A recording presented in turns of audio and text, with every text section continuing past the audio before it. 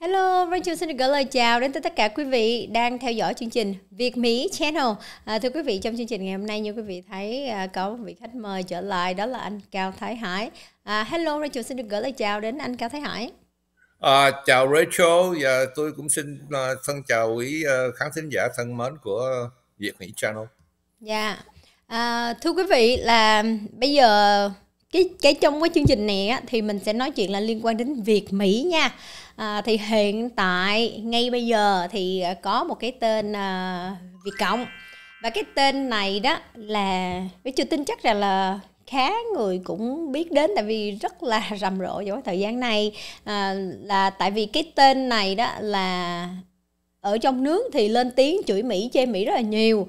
Nhưng mà cuối cùng khi mà đậu visa đi Mỹ đó anh Hải thì lại là à, tạ ơn Chúa tạ ơn Phật là con đậu được visa rồi thế ừ. là mọi người trên không gian mạng mới bắt đầu lôi ra những cái video mà cái người này là từng chê mỹ rồi chê à, cộng đồng hải ngoại nói rằng à, hả cộng đồng hải ngoại hiện tại là à, kinh tế nó suy thoái lắm luôn rồi dân neo bây giờ là bỏ đi về Việt Nam lái xe taxi à, rất là đông đó cho nên là mọi người mới ghét lôi ra thì ừ. em em hỏi anh nè à, khi mà có mấy người Việt cộng mà đi qua bên Mỹ hay làm những những cái lời mà nó bưng bô vậy thì anh anh có phản ứng gì không hay là đối với anh là chuyện rất là bình thường À, cảm ơn Rachel đặt câu hỏi đó cho anh. À, thứ nhất thì à, thưa quý vị, tôi phải thành thật thú nhận là tôi cũng à, coi tin tức thì cũng thấy Tần Nguyễn, Tần Nguyễn đó. Nhưng mà tại vì đối với tôi đó, à, tên này chỉ là một cái rùi bu thành ừ. ra tôi không có muốn mất thì giờ để ừ. tôi theo dõi thành ra tôi phải hỏi lại cô em Rachel coi là uh, có cái gì thêm không còn ấy, những cái chuyện à. mà có chuyện mà mà mà ở bển mà chửi Mỹ rồi tới chừng qua đây rồi được rồi khen thì cái đó là quý vị thấy cái đó là ừ, tôi chỉ nghe lần đầu này thôi mà tôi thấy ừ. rõ ràng là, là cái đúng là, là, là cái cái định nghĩa của một thằng Việt Cộng một thằng cộng à. sản nói qua yeah. nói lại Yeah. Dạ. cái cái điều á mà giống như thí dụ mà cái người này trước khi qua Mỹ thì mình à, chê Mỹ giống như là tại công việc của hắn là chê Mỹ hay là lớn lên bị nhòi sọ thì mình cũng nói đi rồi ừ. qua bên Mỹ thì bắt đầu là thấy được những cái sự văn minh và à, mình thay đổi cái giọng điệu mình nói thì uh, chuyện nó qua rồi thì à. hay là người người đó lên tiếng xin lỗi thì mình không có trách nhưng mà cái điều mà em à, muốn lôi lên đây để mà nói á, là uh, cái này là trên trang Facebook chính thức ha. Thì à, hắn à. có đưa cái hình á là hắn đi uh, thăm ok thăm hàng không mẫu hạm ở San Diego tại một căn cứ hải quân Thái Bình Dương của Hải quân Hoa Kỳ. Uh, chiến ừ hạm này từng tham chiến tại chiến trường Việt Nam năm 1965 đến 75, nay đã nghỉ hưu, neo đậu tại đây, bắt tay với một cái sĩ quan hải quân Mỹ À, rồi đó rồi hắn ghi cái chữ rất là lớn là tôn vinh cờ đỏ sao vàng. À, chiến tranh đã là quá khứ rồi chúng ta hãy bây giờ là đối tác thân thiện với nhau. Thế là hắn à, đưa cái hình lên là hắn bận cái áo um, cờ của phúc kiến ở đây cờ đỏ sao vàng rồi bắt tay với một cái người lính mỹ. Nhưng mà quý vị có một cái điều đáng nói là quý vị thấy là hắn hắn chớp chớp chớp hình xong. Xong rồi sau đó là gì? Hắn mặc cái áo sơ mi vô lại. Thì quý vị thấy rằng trong cái áo sơ mi này đó thì chỗ cổ áo nó cũng có lòi ra cái áo là đỏ sao vàng búa liềm này. À nhưng mà một vài tấm hình sau là hắn bịch luôn cái cổ lên luôn. À, bịch lên tới trên luôn để mà nó không có lòi ra thì không biết là giữa trong cái lúc mà chụp hình như vậy thì có ai à, bị ai lên tiếng nói về cái áo đỏ sao vàng hay là tự nhận thức ra được là ồ mình là giống như quái thai đang ờ, xuất hiện trên cái trên cái vùng lãnh thổ tự do hay sao nhục mặt quá rồi tự che cái cổ áo lên hay sao đó. Nhưng mà cái ý của em á là giống như là Việt Cộng qua ngay trên nước Mỹ mặc cái áo đỏ sao vàng như vậy em em thấy nó sao sao à. Đối đối với anh thì anh anh có gì lời gì anh nói không? Trước khi mà em đưa thêm vài thông tin nữa. Cái uh, mà uh, em, vừa nghe em nói nãy giờ thì cái thứ nhất là nó nó ngay tới đầu anh nó phát hiện ra đó là người này á anh chàng này là, là muốn nổi tiếng muốn lập dị muốn nổi tiếng để mà là tung lên để nổi tiếng làm cho anh nhớ tới và anh à, anh anh, anh tiếc nuối anh nhớ đến cái vụ một của anh chàng như vậy đó mặc cái áo dài à, có cái màu đỏ có cái cờ vàng đi ở cái ừ. phố Bosa thì đi ngay trong cái thành phố mà cái ông thị trưởng là người Việt tạ Đức Trí ừ. Westminster thì người dân nổi lên người ta đòi cái thì là ông thị trưởng cho hai ba xe cảnh sát như đó lại bắt chở tuốt lên phi trường đuổi về luôn nhưng mà mình rất tiếc không có ông thị trưởng San Diego người Việt ở đó. Còn ra anh kết luận lại đó là quý vị thấy không? Dù sao đi nữa mà thị trưởng người Việt thì vẫn là có lợi đó. Nếu mà thị trưởng San Diego là người Việt cái chiếc tàu đó là cái Midway. Ừ. rồi cái kế bên cái chiếc tàu đó có cái tượng mà mà người người người bồ hay người yêu của cái anh chàng của cái anh chàng là lính hải quân hung nhau nữa. Nhưng mà tôi biết cái chỗ đó nhưng mà bây giờ anh lại chỗ đó anh anh anh nghĩ là không ai mà thật sự không ai để ý tới ảnh. Cho nên là cái người đi đường người ta không để ý tới ảnh mà thật sự cái người dân mà đi chỗ đó đó ảnh mặc cái cờ đỏ cờ đen cờ gì có ai biết cờ đó là cờ Việt cộng nữa. Khổ vậy chứ ảnh cứ tưởng là là cái cờ Việt cộng mình nổi tiếng đó nhưng mà không ai biết. Không ai biết à, cũng đúng. Không ai biết nhưng mà làm sao mình nổi tiếng? Bởi vì phải lên Facebook để cho người ta biết. Rồi hô ừ. là, là là như vậy. Rồi hô là không ai bắt hay gì là tại đâu ai biết là gì đâu bắt ừ.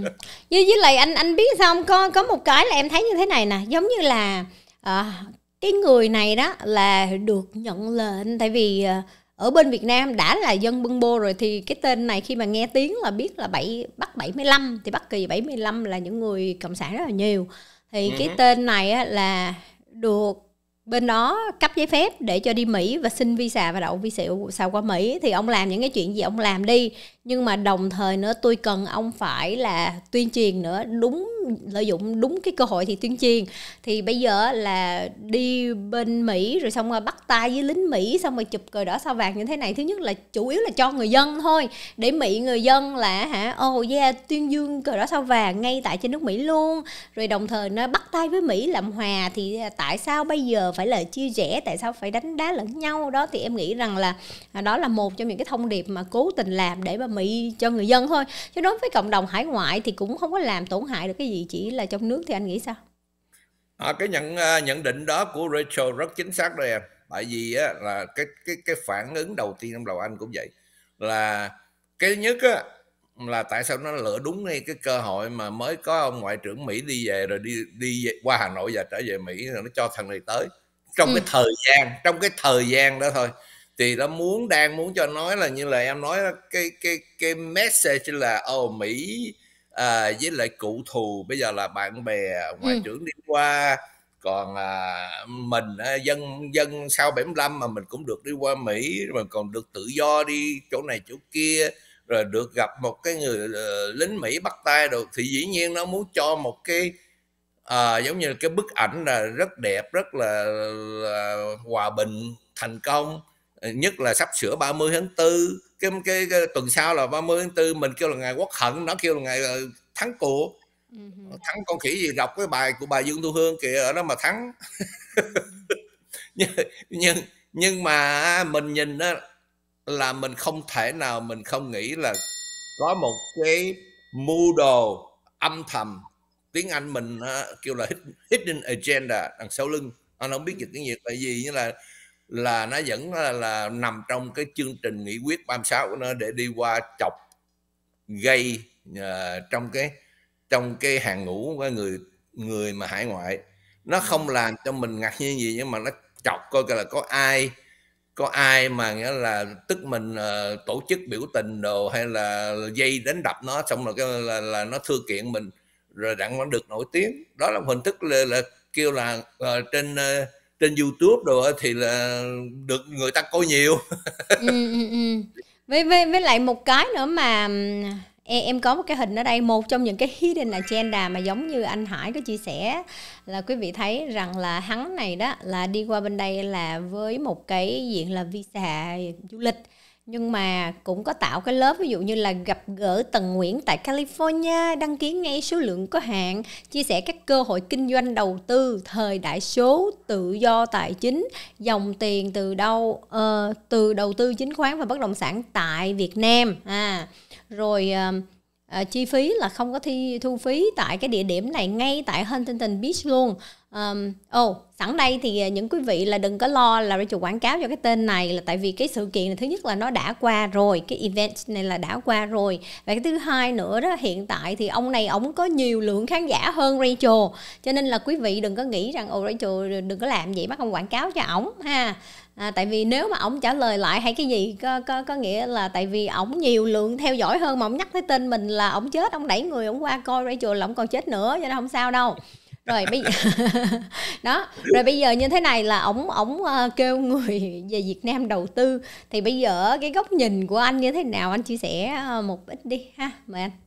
Anh không biết cái này nói trên cái show của em được không? Nhưng mà thôi thì anh nói trước rồi hả? Em có giận thì anh xin lỗi. Ai ngu ráng chịu đối đối với tôi á là mình ở trong cái xứ tự do. Ừ. ai cũng có quyền làm những cái gì mình muốn làm. Đúng rồi Nhưng tiền của người ta nữa người ta muốn làm gì người ta làm đúng. Ai ngu ráng chịu ai ngu mà đi lợi nghe nó rồi ai ngu mà đi đi về Việt Nam để mà làm ăn buôn bán á thì là là bởi tôi nói ai ngu ráng chịu là bởi vì có thể quý vị không biết chứ còn tôi ở đây 50 năm rồi vua vua trả giò đã bị về bệnh thành công bỏ chạy qua Hòa Lan trở lại rồi ai không tin thì lên đó mà mà coi à, cái gì đó trần trường treo cờ à, à, của bác và cờ đỏ sao vàng ở ngay dưới dưới, dưới, uh, dưới lô Sài Gòn rồi về bển rồi tưởng đâu là được tôn trọng lắm rồi rốt cuộc cũng phải lòi đầu trở về Mỹ. Rồi à, à, còn những cái người mà gọi là lớn nữa đó là chẳng hạn như là à, ông uh, Yura rồi à, một cái người mà nổi tiếng vô cùng nổi tiếng nổi tiếng là kinh khủng luôn đó là ông Nguyễn Cao Kỳ đi à. về à. đi về ừ. rồi cũng là khen lên lên tivi khen ngợi rồi chửi những người chống cộng này kia là um, này kia nọ đó cũng không biết sao tôi cũng không biết nha không biết sao mà đang mạnh khỏe vậy mà lên máy bay trở về Mỹ thăm nhà bên Mỹ chết mất tiêu à, tôi tôi chỉ đưa ra cho quý vị đó quý vị đi tìm câu trả lời đi nhưng mà bởi vì tôi mới kết luận. Đối tôi ở xứ Mỹ này tôi quen cái thói tự do cái, cái tự do mình đi tranh đấu tự do mình phải tôn trọng tự do. Ừ. nhưng mà ai ráng chịu vậy thôi.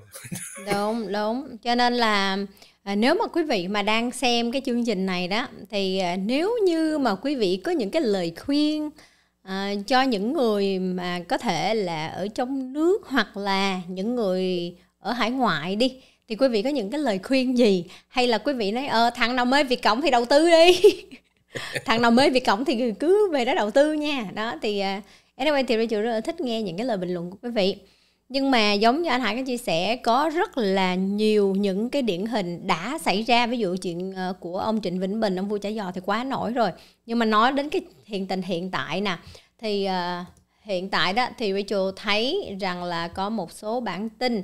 Ví dụ như là cái chuyện của là ông vua rác. À đây ờ, quý vị thấy trên màn ảnh là thành phố Hờ Cờ Mơ thiếu tiền xử lý rác cho toàn thành phố sáng ngày 8 tháng 4 vừa qua thì hàng trăm nhân viên của công ty trách nhiệm hữu hạn chất thải có cái tên là VWS bãi rác Đa Phước ngưng làm việc suốt 2 giờ ờ, vì chậm nhận lương. Ờ, nguyên do Sở Tài nguyên Môi trường của thành phố chậm giải quyết công nợ giữa sở này và chủ đầu tư. Số tiền nợ lên đến là 3.935 tỷ đồng để mà làm tròn con số. Nếu mà tính là đô la thì 150 mấy triệu đô la đó. À, dẫn đến chủ đầu tư phải vô cùng khốn đốn chưa thể giải quyết lương cho nhân viên chính đáng. Đó là uh, dân giống như là định công đó quý vị. À định công đó. À, sau khi nghe lãnh đạo của công ty VWS trình bày sự khó khăn hàng trăm nhân viên đã tiếp tục trở lại làm việc với cái tâm trạng để mà chờ lương. Rồi đồng thời nữa là có một uh, điều nữa đây đòi nợ ủy ban nhân dân thành phố Hờ Cờ Mờ. À, Rachel gọi là Hờ Cờ Mờ. Thì quý vị cứ điền vào chỗ trống đi Hờ Cờ Mờ là hôi chết mẹ hay là hậu chứa mưa hay là quý vị muốn muốn điền vào cái gì thì cái đó là tùy mọi người điền. Nhưng mà Rachel thì Rachel gọi là thành phố Hờ Cờ Mờ nha. Gần 4.000 tỷ đồng ông vua rác David Dương phải than trời. Theo một cái báo ghi uh, Metro Times, theo thống kê thì mỗi ngày nhà máy của công ty trách nhiệm hữu hạn xử lý chất thải Việt Nam có tên là VWS bãi rác Đa Phước tiếp nhận xử lý từ 6.500 đến cho 7.000 tấn rác chiếm hơn 70% lượng rác của toàn thành phố Hờ Mơ. Nhiều năm qua, VWS gồng gánh đổ tiền ra hoạt động giúp cho môi trường sống của thành phố Hờ trong lành. Còn nguồn thu và lợi nhuận từ việc dọn rác cho thành phố thì đang bị sở tài nguyên à, của thành phố Hồ Cờ Mờ nắm giữ, trì hoãn không chịu trả. Con số lên đến là 3.435 tỷ đồng. À, rồi tổng bao gồm luôn là tiền gốc nè, tiền nợ thuế, giao thông giao thông chi thi chi thi lại nhiều chủ không không có chắc nữa rồi tổng uh, phạt và lãi chậm tiền đổ ra nhiều năm, nhưng mà không có nguồn thu về thì doanh nghiệp này đang phải đối mặt với cái tình trạng là cạn kiệt tài chính, có nguy cơ ngừng hoạt động, ảnh hưởng nghiêm trọng đến an ninh môi trường của thành phố Hồ Cờ Mơ thì à, đây đây có phải là một cái bằng chứng rõ ràng là tin cộng sản rồi mình cảm thấy rằng cái cơ hội để mà đầu tư khá cao tại vì hay bên Việt Nam là cái công nghệ về rác thì sao bằng Mỹ đúng không? Mà ông này là nổi tiếng làm rác ở bên Mỹ bên Cali rồi. Cho nên là về bên đó thứ nhất là giúp đỡ nước đi ví dụ vậy đó. Cho là cái sư suy nghĩ vậy ha. Ồ tôi về Việt Nam giúp đỡ nước làm trong sạch mang những cái cái um, công nghệ mới về. Rồi cái thứ hai nữa rằng là cơ hội đầu tư kiếm tiền nữa đúng không? Tại mình ông này là bao thầu hết 70% luôn nhưng mà có phải là bị dụ không quý vị? Tại vì nếu mà mình làm việc ở những cái ờ, quốc gia mà dùng bằng luật của quốc tế thì không sao. Nhưng mà khi mà sử dụng bằng luật của cộng sản thì quý vị thấy rồi bây giờ nó không trả đó giờ nó lì ra nó không trả đó rồi giờ ông này làm gì? Chỉ cái nước là thư kiện rồi tốn tiền thêm. Rồi anh Hải mà. Nãy giờ mà nghe uh, Rachel nói đó thì anh không thể nào mà không nhớ tới và không nghĩ tới cái này mình chỉ nghĩ thôi nha quý vị ừ. là cái ông uh, Yurak có thể là chưa chịu chung đủ quý vị nên nhớ là làm ăn ở bên cộng sản đó. tôi chưa về Việt Nam tôi không có làm ăn bển tôi không về Việt Nam năm chục năm nhưng mà tôi theo dõi tôi biết và tôi nghe những người nó nói như là cái những người như là ông ờ, ông vua vua trả võ tức là hả mà chung không đủ thì cái tình trạng nó xảy ra đó tức là ừ, hối ừ. lộ nói tóm lại là hối lộ với với lại có thể là giàu quá nó thịt nữa anh nghĩ sao? Có thể đủ thứ. Có yeah. có thể hoàn toàn đủ thứ nhưng mà nó là làm cho tôi nhớ tới cái lời của ông tổng thống uh, Nguyễn Văn Thiệu ta nói cả năm chục sáu chục năm sau vẫn đúng mà đừng nghe gì cộng sản nói quý vị ơi. Hãy nhìn những gì nó làm đúng không? À, mà thấy, thấy rõ ràng quý vị thấy không? Nó buôn bán nó làm ăn như người ta nó ký hợp đồng nó cũng chẳng coi ra gì thiếu tiền thì không trả. Ở, ở Mỹ này quý vị thử thử nhà của tôi nè hay nhà của Rachel rồi mỗi ngày à, mỗi tuần nó đi lấy rác. Mà thử mà cuối tháng mà cuối tháng mà không trả nó coi. Nên cúp liền. Đúng Đó, đúng. chứ đâu phải như như Việt cộng vậy. Ừ. nhưng nhưng mà giống giống như là mình thấy rằng là khi mà uh, kinh doanh mà tự do ví dụ như cái hãng rác là cái hãng rác tư nhân rồi những nhà của mỗi người sống ở trong cái thành phố thì họ tự trả tiền ờ, hút rác của họ. Rồi phần city thì city trả cái tiền của phần city, đúng không? Mà thường thường á, khi mà làm việc mà có hợp đồng với chính phủ là một cái lợi thế, tại vì chính phủ không bao giờ mà thiếu nợ. Nhưng mà ở cái đất nước cộng sản là nó thiếu nợ, mà giờ tao thiếu mày một năm đó. Tao thiếu mày hai năm đó, tao thiếu mày ba năm, bây giờ là nó nhiều quá, nó lên 4 năm rồi. Và nó lên là trên 4 tỷ đô la, thì bây giờ tao quỵt luôn thì thì thì nhưng mà ông này là đã bỏ vốn vào trong đó rất là nhiều rồi. Một cái cơ sở Rachel thấy là khá là lớn đó. Anh em nhìn cái hình nè. À, nếu mà quý vị um, à, để coi Rachel có cái hình đi. Nè quý vị thấy cái hình ở đây ha là một cái cái ờ, cơ sở khá là lớn. Đó nhân viên thì ngồi trước đây bãi bãi công. Nhưng mà cái nguyên cái building lớn như vậy đổ vào là tiền cái trăm triệu đô la về để mà xây dựng. Mà quý vị thấy rồi khi mà mình đã nhúng vào cái nhúng vào cái chàm đó rồi á thì mình khó rút ra và cộng sản nó biết như vậy.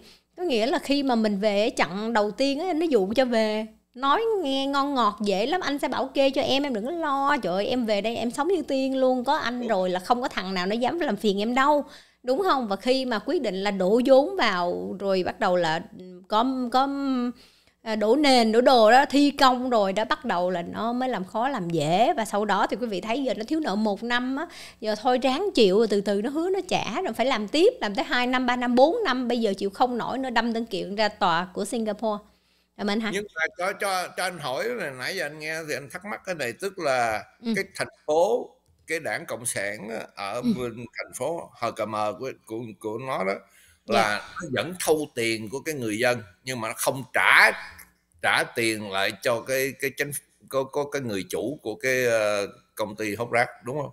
đúng rồi đúng rồi tại vì tại vì cái tiền mà nó rút tiền của người dân là nó nó vẫn bắt người ta phải trả tiền thôi chỉ có cái là nó không trả tiền cho bên cái công ty rác này thôi à, quý vị thấy không quý vị thấy là tôi hỏi câu đó để cái câu mà tới phê bình đó là quý vị thấy rõ ràng là cái xứ mà nghĩa là không có luật không luật rừng không ừ. quý vị có tưởng từ nãy tôi mới giờ nói là anh em của tôi bên đây bên mỹ á, là người dân á, là phải trả tiền mà không trả tiền á, là nó cúp nó không hốt rác nhưng mà cái công ty hốt rác ở bên Mỹ này nó, nó là của người dân luôn chứ không phải của chính phủ nó làm cho chính phủ nhưng mà nó nó cũng nó nó ký hợp đồng với chính phủ hợp đồng với ừ.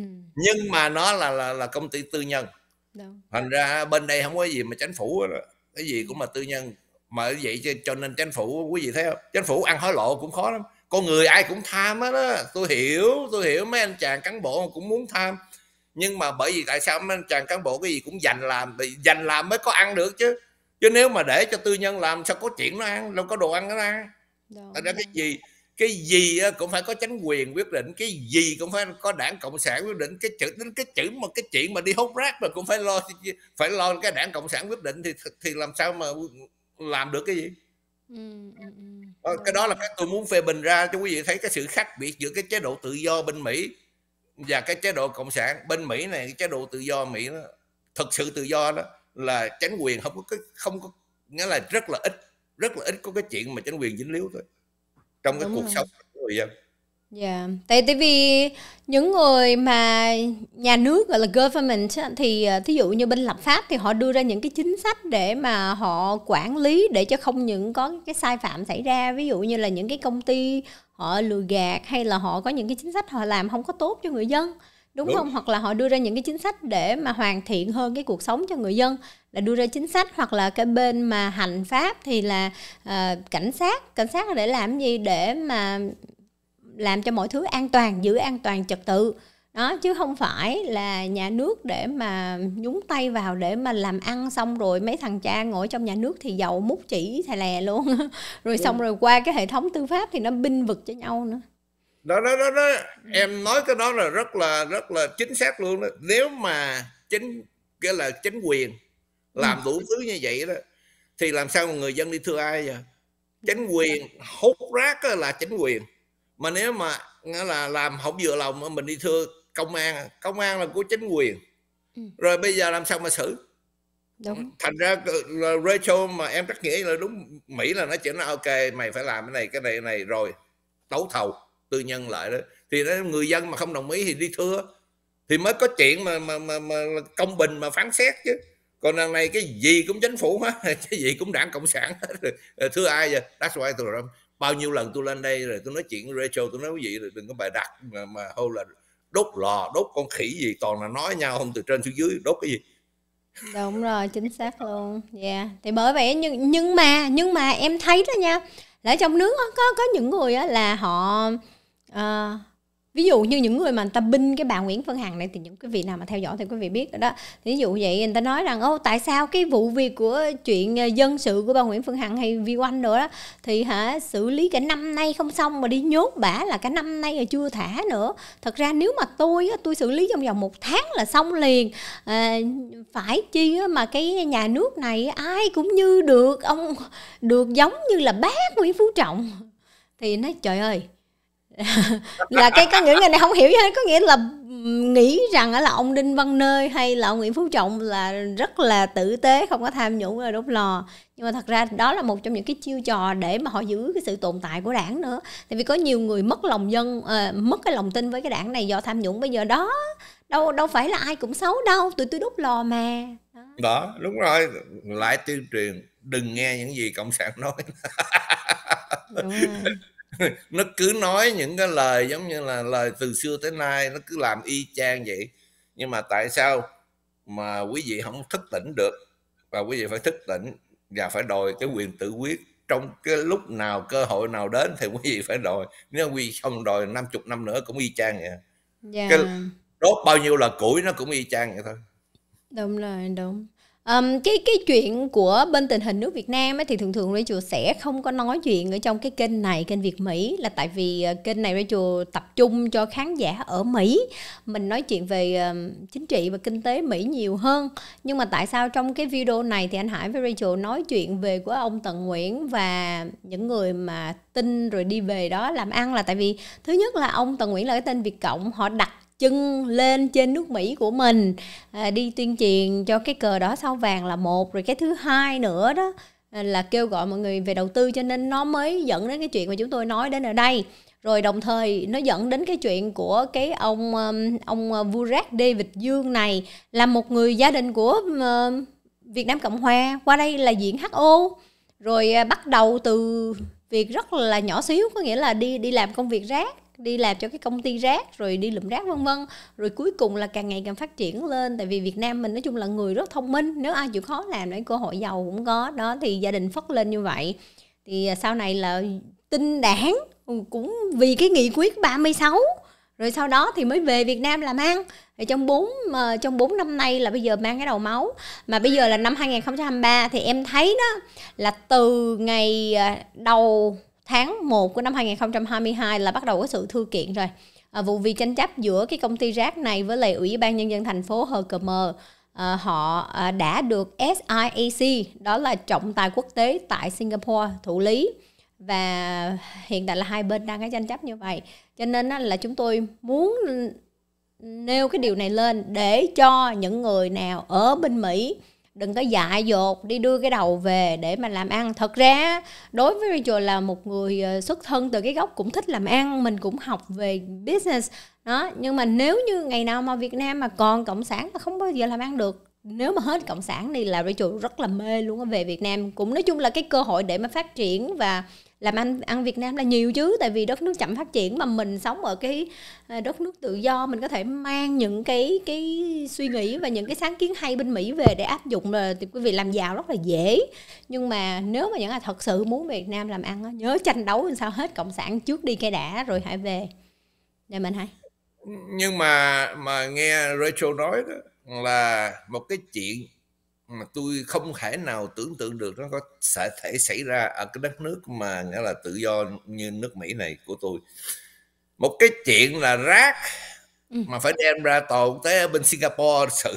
Quý vị thấy không? Quý vị thấy tôi hồi nãy tôi nói ra là tại sao Mỹ người ta làm là người ta chính quyền không dính líu tới cái chuyện mà mà là buôn bán thương mại dịch vụ đồ cho người dân là để cho người ta có cái tánh mà tính tánh mà cái tánh gì đó không có không có thiên lệch đó mà chánh, chánh quyền xử là xử xử giữa cái công ty với cái người dân.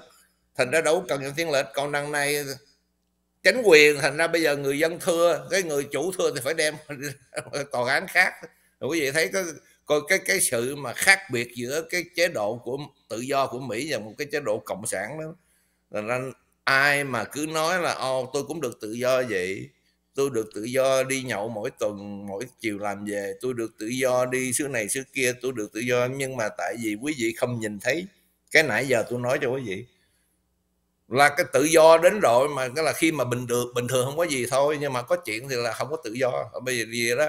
Tiếng diệm nói câu là phủ binh phủ, quyện binh quyện. Biết quý vị đi thưa thằng thằng à, thằng à, thằng đảng cộng sản này thì thằng đảng cộng sản kia nó binh với nhau. Rồi quý vị rốt cuộc là phí, phí công phí của phí, phí tiền. đó Đúng ra ai ai mà muốn về á, thì đó là những cái cái cái mà tùy quý vị à. Tại vì tôi lớn lên trong cái chế độ tư bản tự do. Tôi không có tôi không có đi chống đối quý vị nào. Muốn về thì về. Nhưng mà đều hồi nãy tôi nói cái đầu tôi nói rồi ai ngu ráng chịu. Rồi cảm ơn. Nhưng mà thường thường em em thấy mà những người mà về bên đó làm ăn á họ làm ăn có tiền thì thôi không nói nha. Mà giống như bị đụng cái chuyện như vậy ví dụ ông David Dương á là bên đây là một số người cũng đã lên án ổng rồi đúng không? Là tại vì uh, bắt tay với cộng sản về đó làm ăn rồi nghị quyết 36 rồi bây giờ đụng chuyện như vậy nó thay vì là người ta thương đi người ta cảm thấy ờ mày ngu mày ngu rồi bây giờ mang cái đầu máu chạy về. Rồi bây giờ đụng chuyện pháp lý nữa à, và tiền mất tật mang nữa tại vì cái số tiền vốn đổ vào để mà xây dựng bên đó là khá nhiều. Rồi 4 năm nay là bỏ tiền bỏ uh, uh, giống như tự mình bỏ tiền túi ra để mà vận hành mà không thâu vào được thì cuối cùng là sạc thôi đúng không? Như vậy mình đâu có biết được có những người mà như vậy là người ta đi đi, đi à, cái danh từ mà có một cái bản hát giống như người ta đi thích, đi tìm cái thú đau thương, người ta muốn như vậy, người ta muốn bị cộng sản hành hạ như vậy để người ta cho người ta hy sinh cho bác và đảng. rồi thôi. Um, cảm ơn quý vị. À, đối với quý vị thì uh, quý vị suy nghĩ gì về cái chuyện mà một số những người ở Mỹ đi về Việt Nam đầu tư rồi cuối cùng là mang đầu máu trở về lại thì quý vị để lại bình luận dưới đây nha. Rồi cảm ơn anh Hải rất là nhiều. không phải ở Mỹ nha ở chỗ khác nữa nha chứ không phải là chỉ Mỹ à, không à, à, à. ở Hà Lan ở Hà Lan. À, giống như là tóm lại là mình sống ở những cái quốc gia tự do văn minh rồi Đó, nhưng mà mình mang cái tiền đô về để mà mình um, mình mình um, bắt tay hay hay là mình lợi dụng mình dựa vào cộng sản để mà mình làm ăn đó thì có ngày nè cái cái chuyện mà đổ đầu máu nè nhắc tới tức. Em á là cái cái chuyện việt cộng á thì em lên án mỗi ngày đúng không? Vậy á mà cái người rất là thân người rất là thân um, đi về việt nam mua đất thấy không Việt Nam trời đất thấy không? Nó trúng quá vậy đó. Thì mua đất. Thì có thời gian cũng trúng thiệt là nó lên. Nó ừ. lên trời ơi nó nó lên gấp cả thí dụ vốn bỏ vô chừng hai chục ngàn nó lên chắc vài trăm ngàn đó. Nói chung là rất là nhiều. Cái xong mà tới lúc đó mà lên tới mấy trăm ngàn lên cái điểm đỉnh đó thì là cái trị giá của cái khu đất với nhà đó là khoảng 700 ngàn đô đó. Không chịu bán cái xong rồi cái bắt đầu nó rớt xuống cái nó còn là khoảng 400 ngàn đô. Thì lúc đó là có người mua nhưng mà nói thôi giờ bán hồi đó 700 ngàn đô giữ 400 ngàn đô lỗ uổng. Thôi giữ đi mai mốt nó lên tiếp. Xong bây giờ cái khu nhà đó nó đưa vào cái khu quy hoạch. À mà quý vị biết á, là khi mà nó nói quy hoạch rồi á là nó không cho buôn bán nữa. Là thuộc dưới quyền cai trị của đảng cộng sản. Đúng đúng cho nên bây bây giờ hỏi là cái nhà đó sao rồi, bán được chưa? Nó giờ xui, nó đưa vào cái khu quy hoạch rồi, không có buôn bán gì được nữa hết. Giờ đâu có ai dám nhậu, nhào vô mà mua. Còn thí dụ như mà bây giờ muốn bán thì vẫn được, nhưng mà nó rất là rẻ rẻ bèo luôn. Thí dụ giờ bán chừng vài chục ngàn đô à. Trời ơi, đau lòng nói thôi, bây giờ là cái nước ôm luôn chứ giờ làm sao?